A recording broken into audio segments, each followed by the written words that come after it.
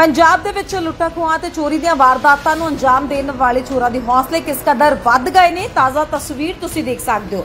ਬਟਾਲਾ ਦੇ ਪੌਸ਼ ਇਲਾਕੇ ਦੀ ਤਸਵੀਰ ਸਾਹਮਣੇ ਆਈ ਹੈ, ਜਿੱਥੇ ਕਿ ਸ਼ਾਸਤਰੀ ਨਗਰ ਮਾਰਕੀਟ ਦੇ ਵਿੱਚ ਚੋਰ ਦੇ ਵੱਲੋਂ ਘਰ ਦੇ ਬਾਹਰ ਖੜੇ ਹੋਏ ਮੋਟਰਸਾਈਕਲ ਨੂੰ ਹੀ ਚੋਰੀ ਕਰ ਲਿਆ ਜਾਂਦਾ ਹੈ। ਦਿਨ ਦਿਹਾੜੇ ਚੋਰੀ ਦੀ ਵਾਰਦਾਤ ਨੂੰ ਅੰਜਾਮ ਦਿੱਤਾ ਜਾਂਦਾ ਹੈ।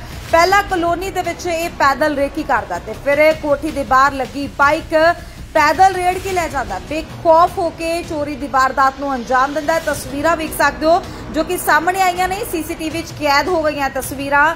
ਸੋ ਕਿਸ ਕਦਰ ਚੋਰਾਂ ਦੇ ਹੌਸਲੇ ਬੁਲੰਦ ਨੇ? ਪੰਜਾਬ ਦੇ ਵਿੱਚ ਆਏ ਦਿਨ ਹੀ ਚੋਰੀ ਦੀਆਂ ਵਾਰਦਾਤਾਂ ਘਟ ਰਹੀਆਂ ਨੇ, ਪਰ ਇਸੇ ਦੇ ਦਰਮਿਆਨ ਪ੍ਰਸ਼ਾਸਨ ਤੇ ਵੀ ਇੱਕ ਵੱਡਾ ਸਵਾਲ ਜਾਂ ਨਿਸ਼ਾਨ ਖੜਾ ਹੁੰਦਾ ਹੈ ਕਿ ਆਖਿਰਕਾਰ ਇਹਨਾਂ ਚੋਰਾਂ ਤੇ ਪ੍ਰਸ਼ਾਸਨ ਕੋਈ ਕਾਰਵਾਈ ਕਿਉਂ ਨਹੀਂ ਕਰਦਾ?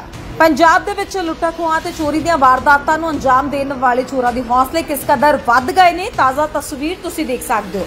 ਬਟਾਲਾ ਦੇ ਪੌਸ਼ ਇਲਾਕੇ ਦੀ ਤਸਵੀਰ ਸਾਹਮਣੇ ਆਈ ਹੈ, ਜਿੱਥੇ ਕਿ ਸ਼ਾਸਤਰੀ ਨਗਰ ਮਾਰਕੀਟ ਦੇ ਵਿੱਚ ਚੋਰ ਦੇ ਵੱਲੋਂ ਘਰ ਦੇ ਬਾਹਰ ਖੜੇ ਹੋਏ ਮੋਟਰਸਾਈਕਲ ਨੂੰ ਹੀ ਚੋਰੀ ਕਰ ਲਿਆ ਜਾਂਦਾ ਹੈ। ਦਿਨ ਦਿਹਾੜੇ ਚੋਰੀ ਦੀ ਵਾਰਦਾਤ ਨੂੰ ਅੰਜਾਮ ਦਿੱਤਾ ਜਾਂਦਾ ਹੈ। ਪਹਿਲਾਂ ਕਲੋਨੀ ਦੇ ਵਿੱਚ ਇਹ ਪੈਦਲ ਰੇਕੀ ਕਰਦਾ ਤੇ ਫਿਰ ਇਹ ਕੋਠੀ ਦੇ ਬਾਹਰ ਲੱਗੀ ਬਾਈਕ।